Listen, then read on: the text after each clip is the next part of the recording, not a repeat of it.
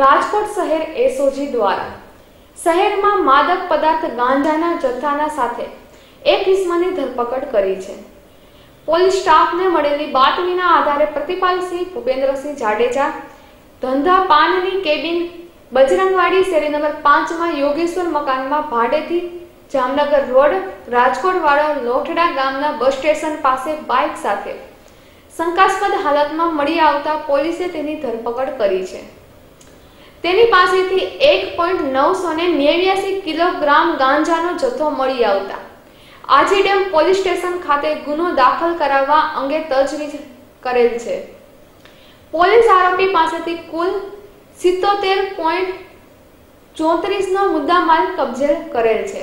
અહેવાલ વિજય મકવાણા.